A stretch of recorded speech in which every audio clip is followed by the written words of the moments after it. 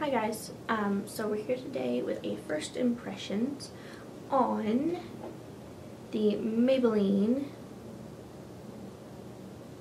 oh, focus Maybelline um, Fit Me Poreless, Matte and Poreless. This is in porcelain. I used to use the original um, foundation so I wanted to test out to see if this actually worked. I don't know if it's going to be a color match. I really hope so because I have a meeting after I'm done filming this. Um, so this is going to be a really quick video. I already have my eye makeup. I have my Naked 2 palette Chopper on the lid and then um, busted in the crease. And my Better Than Sex mascara on. Here we go.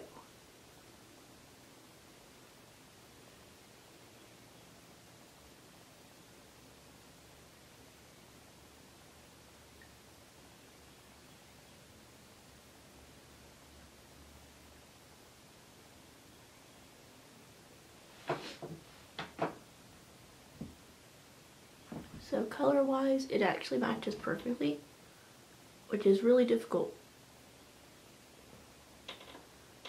for me to find. Um, but it's nice to know I have a drugstore option now. It also applies really smooth on the skin. Um, as far as the finish goes, it is definitely matte.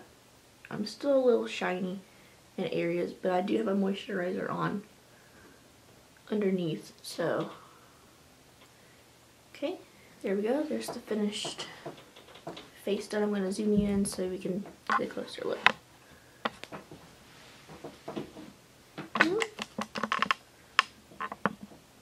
Okay, so you still see skin underneath, um, as well as my redness and my spots that I have going on right now.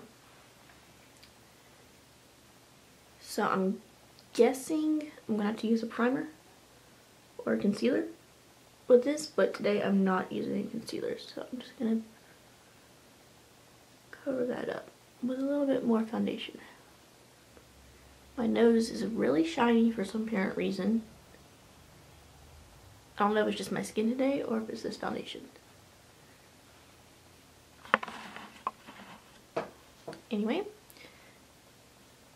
it definitely matches my neck right now. Um, now it could oxidize and that could be a whole different story later on. So yeah, I'm not going to set it with powder. I am just going to apply a little bit of blush and some lipstick and I will check back in in a couple of hours. So I just wanted to do the first little update. Um, I'm sitting in my car, so usually the car is one of the best places to check your makeup and since this natural light is on my face right now, which is why I'm super squinty, um, I just wanted to, yeah, it's starting to oxidize and turn a little bit orange. I don't know if maybe it's my powders I put on top of it because I contoured a little bit and applied some blush and stuff. Um, it could be part of that. It could just be fallout of my contour powder. I don't know. But you can see a little bit of a difference. At least I feel. Maybe I'm seeing my contour. I don't know. But I will check in. Again, it's currently 11 o'clock only been an hour. So, see you back soon. Hi, so it has been eight hours. What time it is?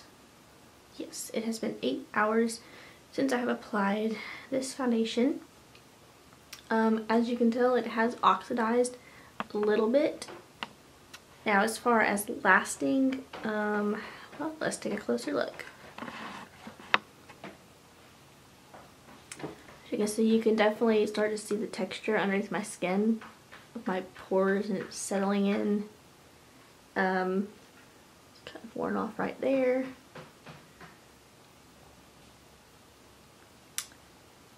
You can definitely see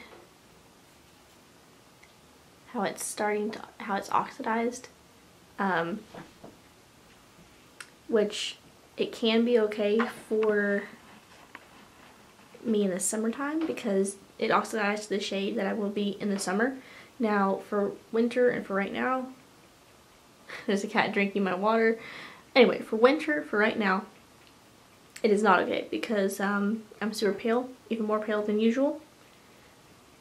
So my overall thoughts of this foundation would be, I do like it, um, but it'll be more of my summer foundation, I believe.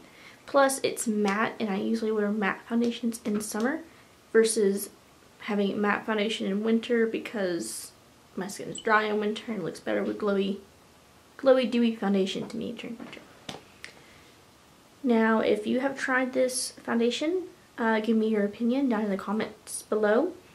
And I will see y'all next time with my next video, which I'm pretty sure might be another foundation test. Hint, hint. anyway, I love y'all. See y'all later. Bye. You see all this stuff? It was a lot.